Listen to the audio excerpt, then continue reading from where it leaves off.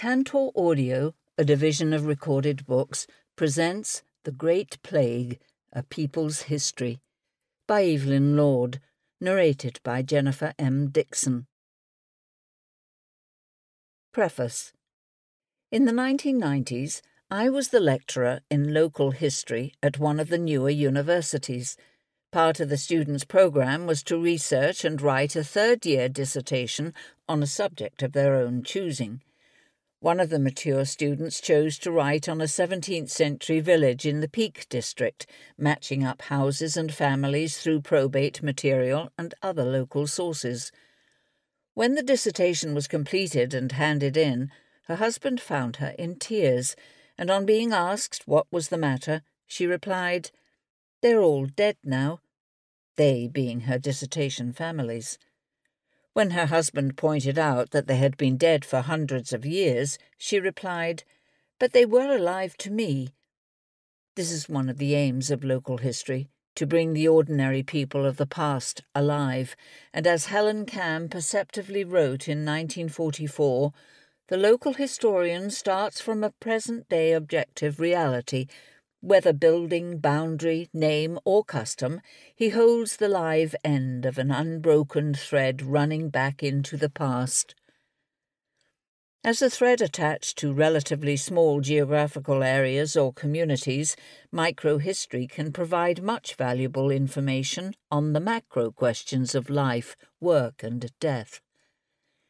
This book aims to follow the thread of history to Cambridge and the long hot summers of 1665 and 1666 in order to bring the people who lived and died at that time alive and record their lives, experiences, and deaths for the present day.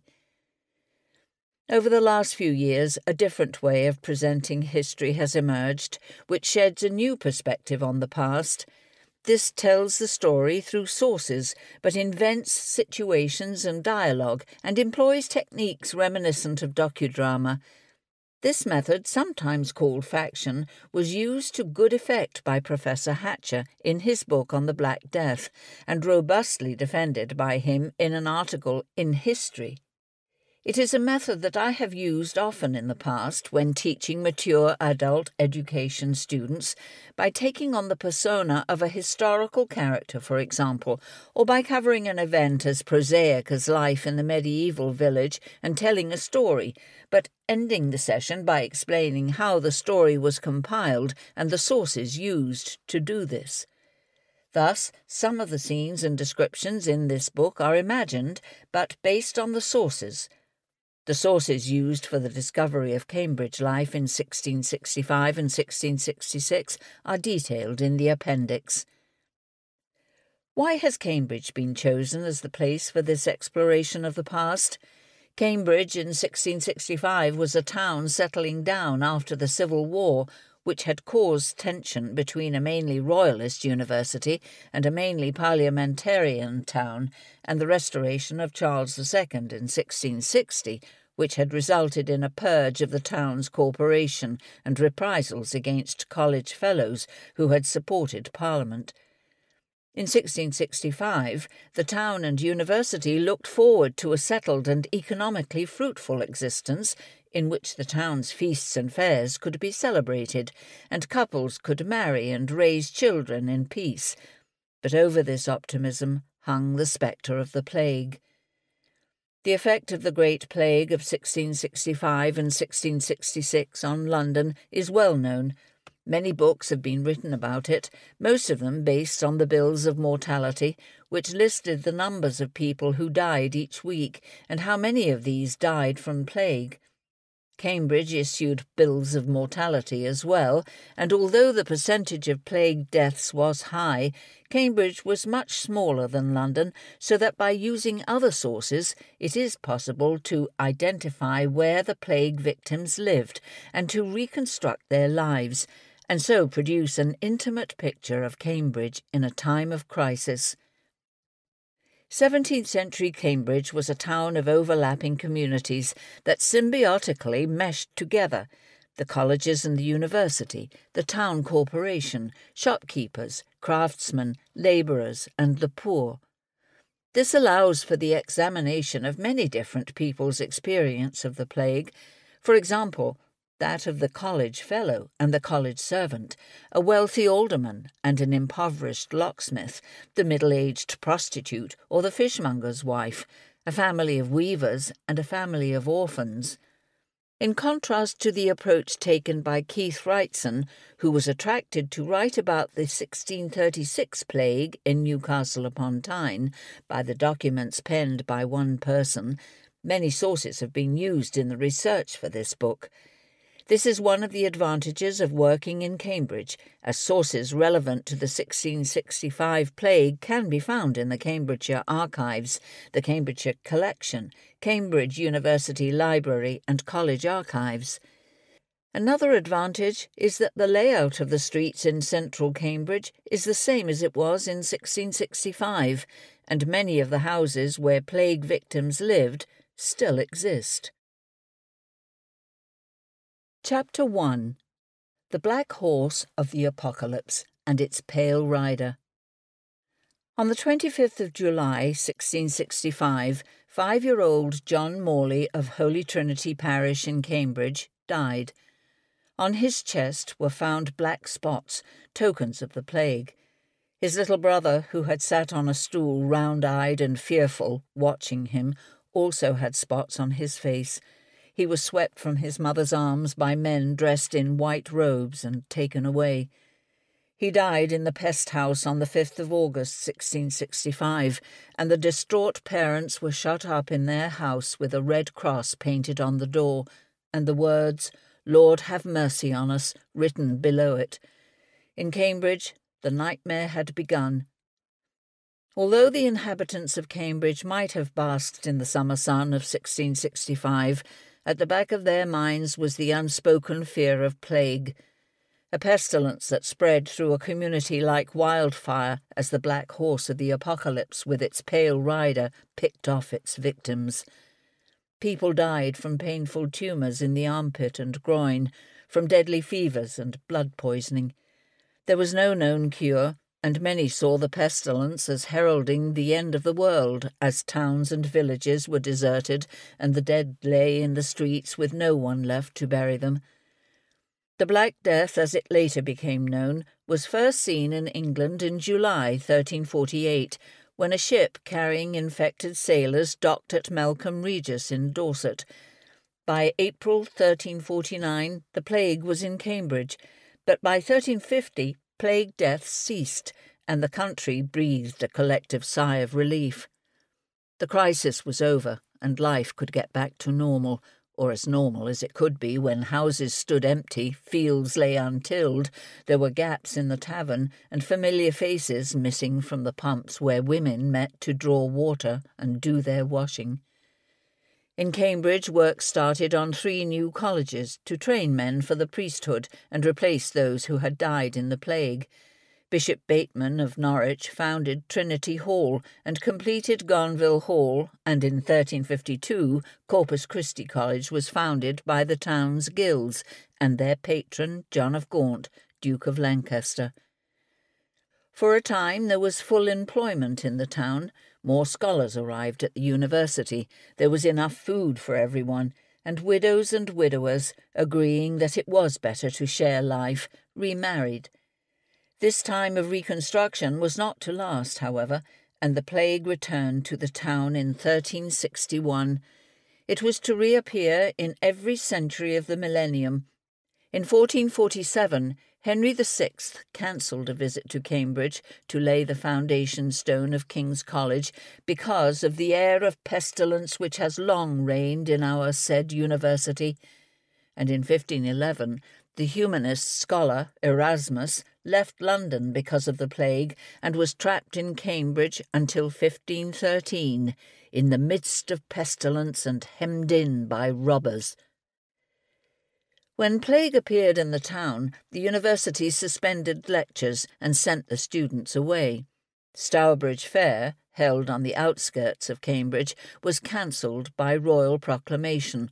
All entertainment was banned, and the social and economic life of the town was severely disrupted.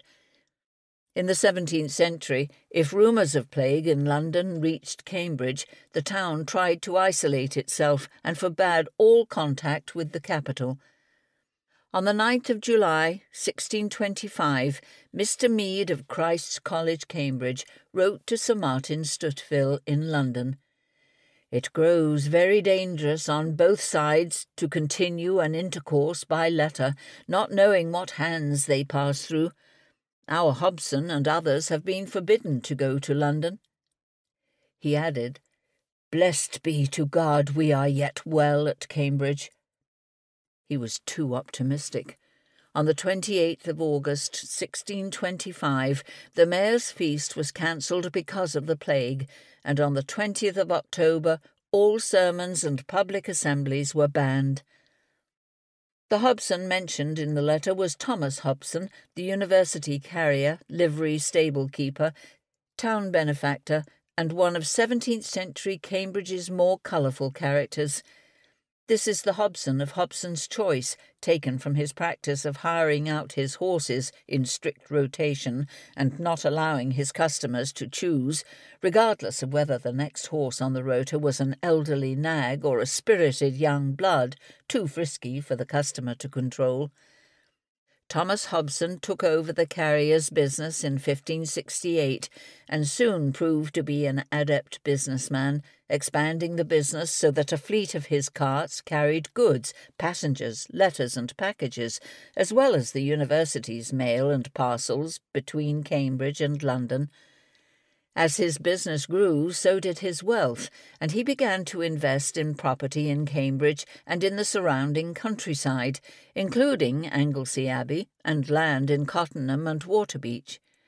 In 1628, he conveyed land in St Andrew's Street in Cambridge to the town and the university, and provided money to build and equip a workhouse for poor women, which became known as the Spinning House he also paid for a conduit into the marketplace, into which pure spring water flowed from Trumpington Nine Wells.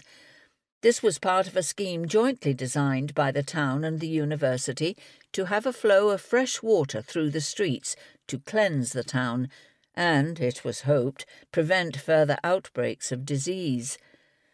The flow of water can still be seen in Trumpington Street, but the conduit has been moved to the corner of Trumpington Street and Lensfield Road.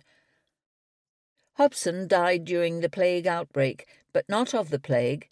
The poet John Milton, who was studying at Christ's College at the time, thought it was because Hobson could not stand the inaction when forbidden to travel to London, and dedicated a poem to him on the university carrier who sickened in the time of his vacancy, being forbid to go to London by reason of the plague.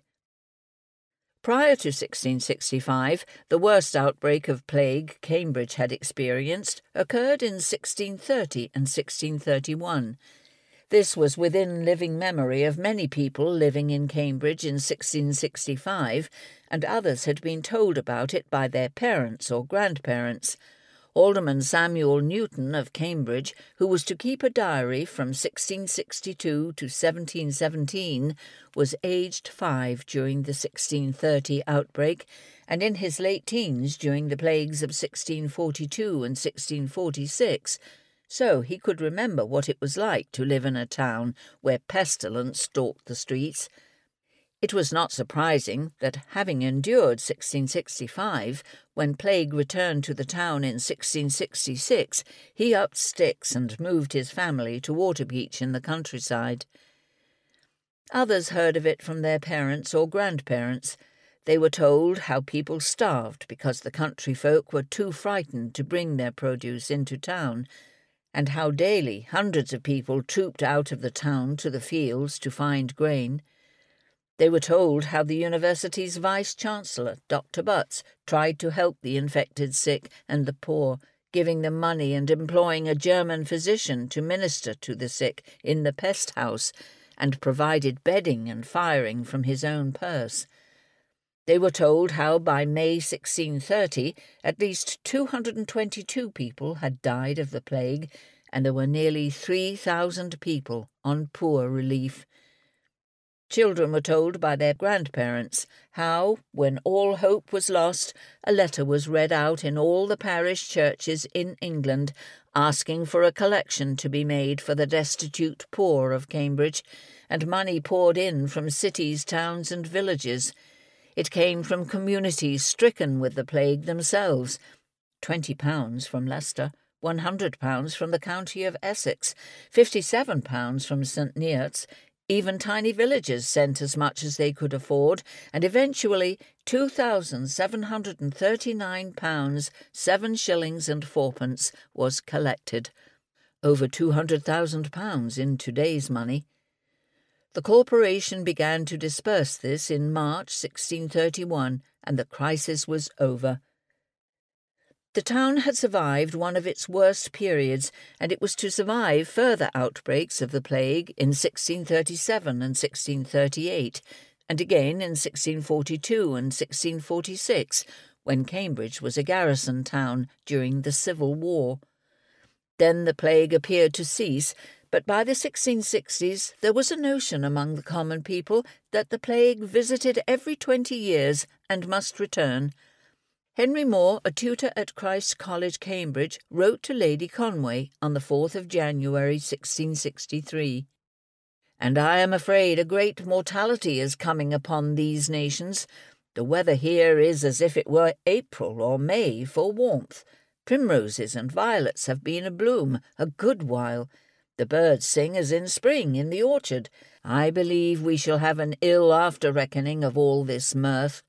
There have been many fiery meteors seen, several rivers and wells dried, which show that there have been considerable changes in the entrails of the earth.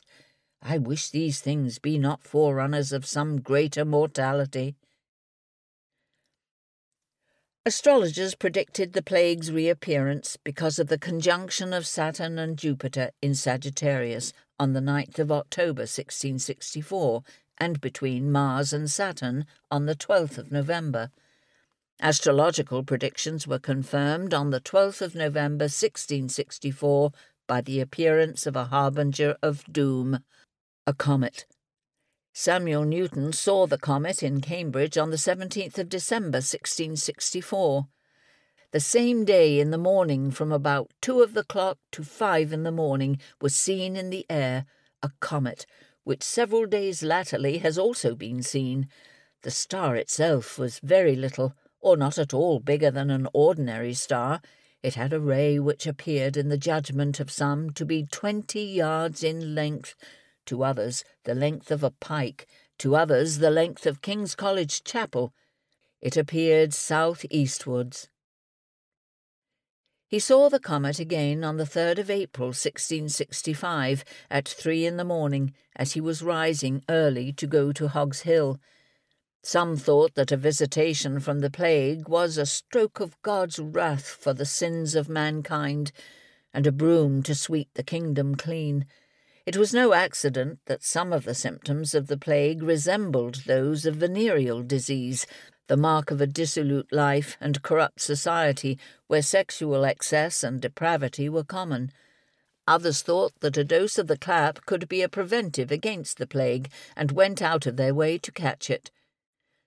The most popular theory on the cause of the plague was miasma, the earth belching forth venomous vapours vapours caused by filth, overcrowding, dunghills, excrement, stinking standing water, putrefying churchyards, all polluting the air. The vapours could lie dormant in the soil during cold weather and resurface when it became warmer. This was borne out by the patterns of plague deaths, which decreased in the winter, only to occur in greater numbers in the summer. The idea that bad air could cause disease persisted into the 19th century, but we now know that plague was caused by a bacillus, Yersinia pestis, identified by Dr. Alexandre Yersin in 1894. Helped by the new science of bacteriology, he found that the bacillus that caused plague was primarily a disease of rats – Four years later, P. Simond recognized that the disease spread to humans through the bite of a rat flea. He found that once the rat host died, the infected flea left to find another warm body to feed on, but as it could not ingest any blood, when it bit the human, it injected the lethal bacillus under the skin. Plague was transmitted from flea bites rather than from human to human. However, a secondary infection of the lungs, or pneumonic plague, could be spread from human to human by droplets. This was the type of plague referred to in the nursery rhyme Ring a Ring a Roses. The 1665 1666 outbreak was almost certainly bubonic plague.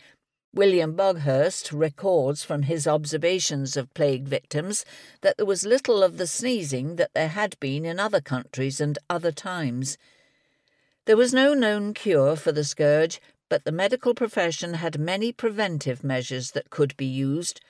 That august body, the College of Physicians, suggested that prevention of the plague started with prayer and repentance, and, if it became necessary to go out into the streets, tobacco, rue, or angelica should be chewed, and clothes should be perfumed with juniper or cedar wood.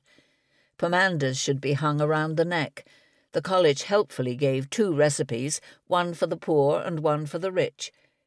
The pomander for the poor was made of rue, zedoary, turmeric, myrrh, two grains of camphor, and two grains of laudanum put into a cloth bundle. The richer sorts pomander included citron pills, angelica seeds, zedoary, rose leaves, aloes, five grains of laudanum, and five drams of gum dissolved in rose water and enclosed in an ivory box to be hung on a golden chain. Oranges studded with cloves tended to be a more temporary solution. The college also published a selection of diets that could be used as a preventive. These ranged from fasting to eating a great deal of garlic cooked in butter with bread and sage or summer sorrel. London or Venetian treacle was considered especially beneficial. This was not treacle as we know it, but a compound of 75 ingredients each added with great ceremony, and the result taken as a pill. Non medical practitioners had their own recipes. Hannah Glasse prescribed plague water. This was an infusion of rue, sage, mint, rosemary, wormwood, and lavender in a gallon of wine, which was put into a pot and left to warm in ashes for four or five days, then strained and bottled with camphor. It could be taken by mouth, rubbed on the loins or the temple, or sniffed up. A similar recipe appears in the recipe book of the Barnardistons, a family of apothecaries in Bury St Edmunds. They boiled rue and sugar in muscadine wine and added nutmeg, pepper, treacle, and angelica water. Half a spoonful was to be taken in the morning and half in the evening, and then trust in God. When plague was identified, the Privy Council swung into action and issued a series of orders to county sheriffs and town councils. The first set of directives was concerned with stopping the infection from spreading, banning all public meetings, and cancelling fairs, including Cambridge's Stourbridge Fair. The next order stated that all streets and alleys were to be thoroughly cleansed, and fires strewn with sweet herbs were to burn on street corners. No dogs, cats, or tame pigeons were allowed out on the streets, and some authorities went so far as to kill all dogs, cats, and pigeons in their town. Infected households were to be closed up or the inhabitants sent to a pest house. Wardens were to be appointed to watch infected houses and supply necessities, and searchers were to be appointed to identify plague victims. Lastly, there were to be monthly fasts, public prayers every Wednesday and Friday, and collections made in the churches for the infected poor, by which means God may be inclined to remove his severe hand from amongst you and us. Towns took these orders seriously and isolated the infected poor in pest houses, which at first were hastily erected sheds where the dead and the dying were close neighbours, but later were purpose built structures.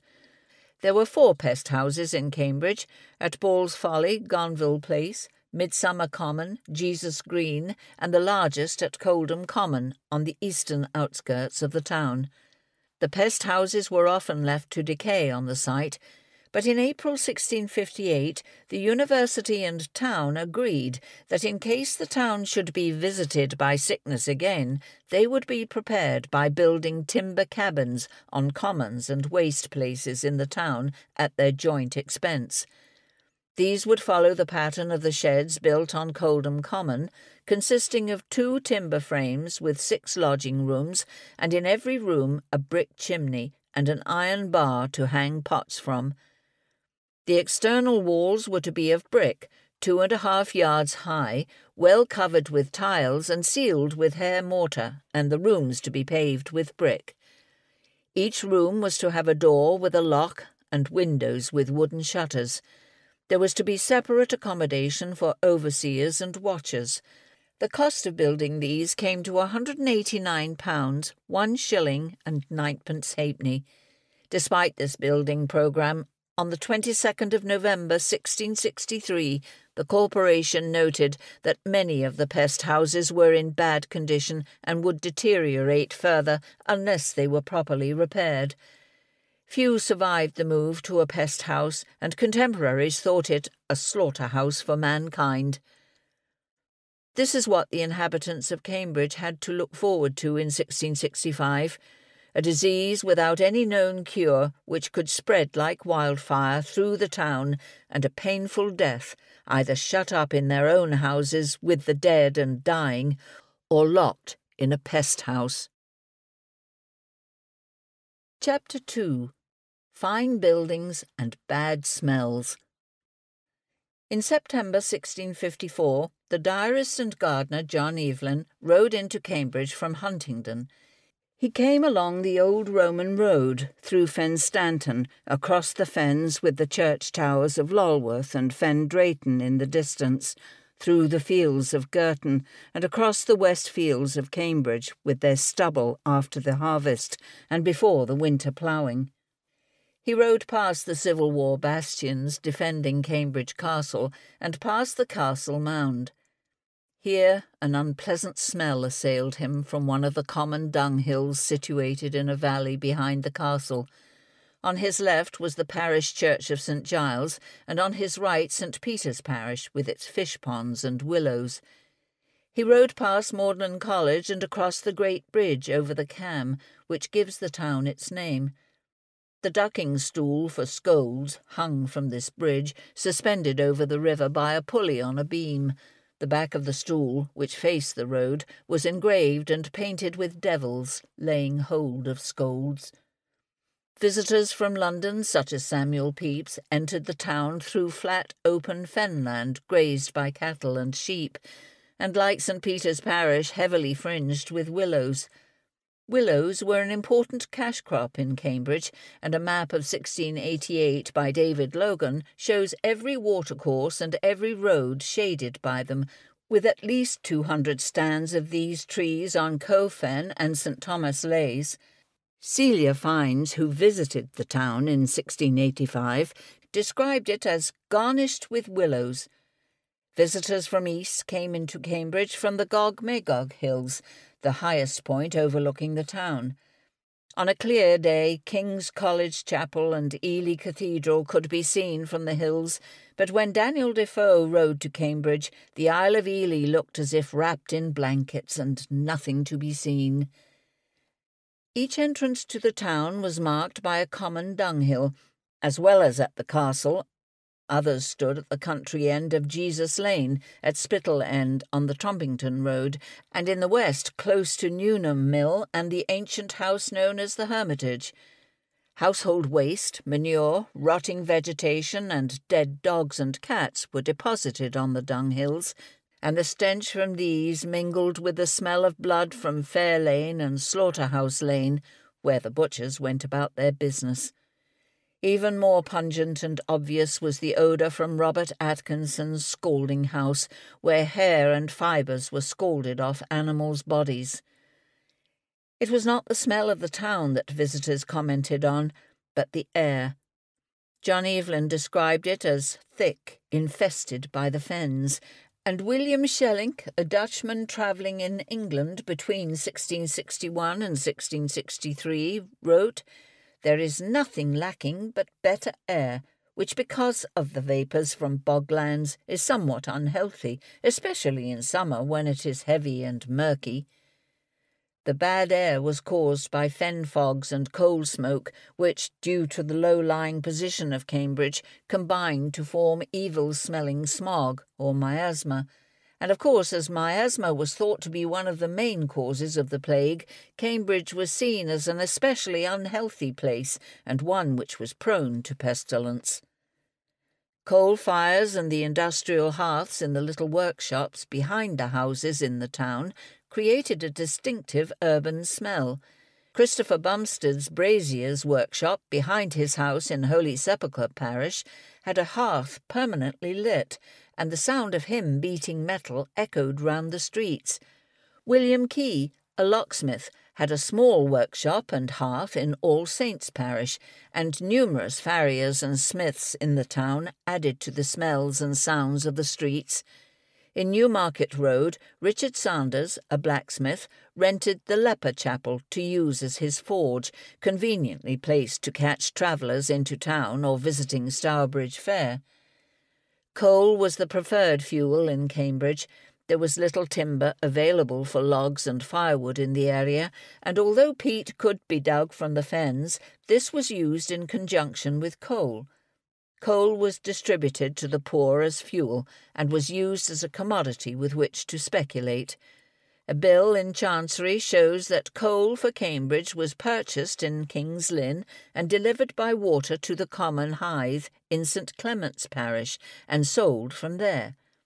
King's Lynn was linked to Cambridge by the rivers Cam and Ouse, and the town was also a hub on the road from the north and the Midlands via Huntingdon, now the A1 motorway and A14, and through to East Anglia and the port of Harwich. Travellers who rode into Cambridge were not impressed with the roads. William Schellinks arrived in a heavy rainstorm and took lodgings at the Lion, which stood opposite St John's College.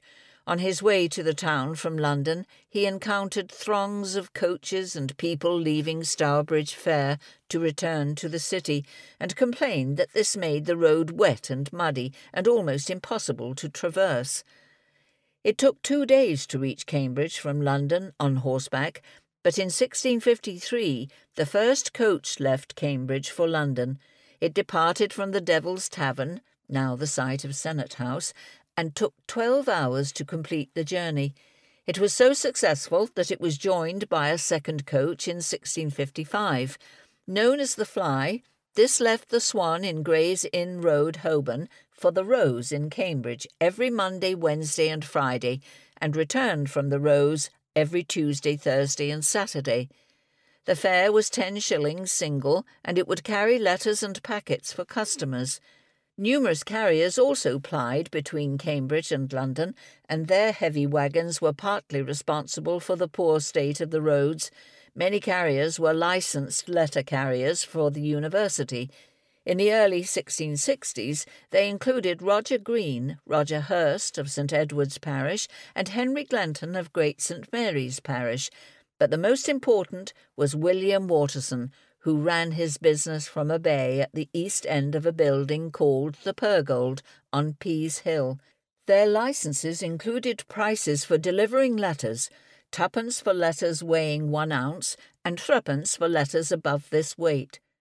Heavy goods came by river and Hythes, wharfs, clustered along its banks, each catering for a different commodity. Corn Hythe, Flax Hythe, Garlic Hythe, Salt Hythe, and, for general purposes, Dame Nichols Hythe and the Common Hythe. Narrow lanes led from the Hythes to the High Street and Market Place, and 16th and 17th century maps show that these often crossed college grounds. The rumble of handcarts as the porters brought goods up from the river added to the sound of horses' hoofs on paved and cobbled streets and the iron shod wheels of carts and coaches leaving the Rose and the Devil's Tavern, all formed part of the strident noise of a 17th century town. Two major bridges spanned the river, the Great Bridge on the road to Huntingdon, and the Little Bridge by Queen's College on the road to Newnham, while colleges had private bridges over the river and a public pedestrian bridge led to Garret Hostel Green between Trinity College and Trinity Hall. The river was more than a communication artery. People washed themselves and their clothes in it, having been forbidden by the corporation to wash in the brooks or the town streets, but only in the river. Townspeople and scholars fished in it. Tiny fishermen are shown on a 16th century map. Wildfowl were shot on its banks, and people boated on it for pleasure. Scholars and townsmen swam in it, one portion of the town fen by the river was known as the Swimming Croft, and sewage was discharged into it, which added to the town's pungency in summer. A fifteen foot wide man made watercourse known as the King's Ditch encircled the town. This left the river at Mill Lane, crossed Pembroke Street and St Andrews Street, then ran down Hobson Street before it was crossed by a chain bridge in Walls Lane, went across the back of Sidney Sussex College under Jesus Lane in a culvert, and down Park Street to rejoin the river opposite Magdalene College. The ditch was dug in 1274, and its purpose is unknown.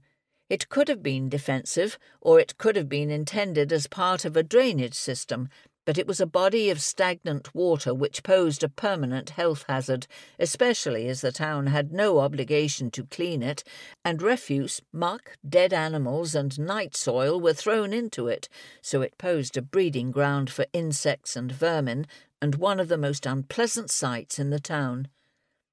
A succession of maps from 1574 to 1688 shows that the layout of Cambridge had changed little during that time, and the plan of the central area was similar to that which exists today.